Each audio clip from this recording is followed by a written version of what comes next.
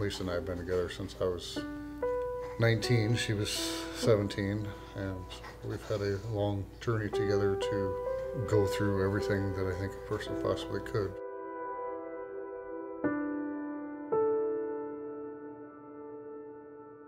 She was the middle child of our five. We have two older than her and two younger than her. Yeah, she just was very bubbly, sweet.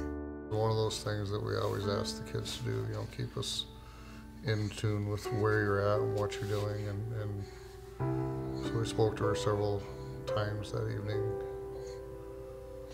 Just shortly after nine o'clock um, that evening, she was up at a subway, uh, 26 and Sycamore, and said she was hanging out with, with a couple people up there. It was the last time we ever talked to her. We didn't eventually find out anything until it was 11. almost 11 o'clock. When we got the knock on the door, it was probably a half a dozen officers and then one person in plain clothes who I came to find out shortly thereafter was a, a pastor. They proceeded to tell us that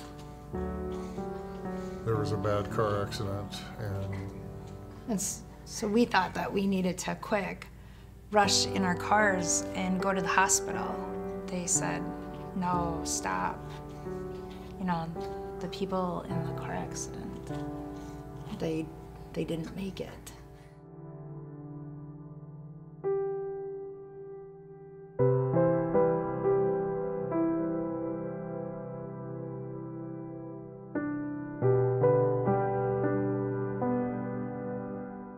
Had some really, I'd have to say, we had some very, very dark years after Ashley died. I felt a little bit of the, the story of, of Job. You know, hindsight is a, is a wonderful thing because sometimes you miss the blessings that you had along the way, uh, which, which we did. We, we missed them, all the good things that were trying to happen amongst all the, the bad and the hurt. You know, we just had a huge presence of people praying for us.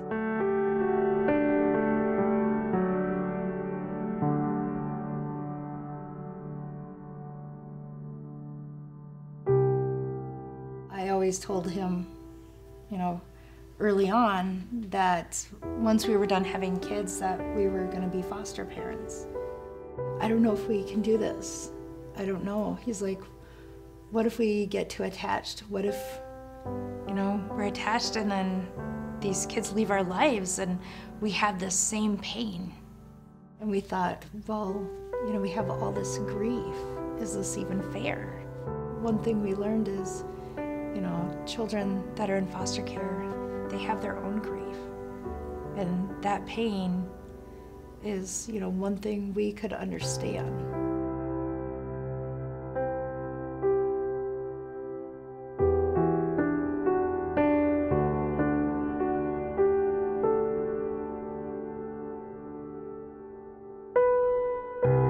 Remember getting a call from Pastor Jason saying, you know, we have a family that, you know, lost a, a child in an accident and we want to provide meals. I had told him if there was a family that lost a child, that I would most definitely be willing to, you know, to reach out and help in any way that I could. And so he asked if I would bring them a meal, and I was like, well, sure.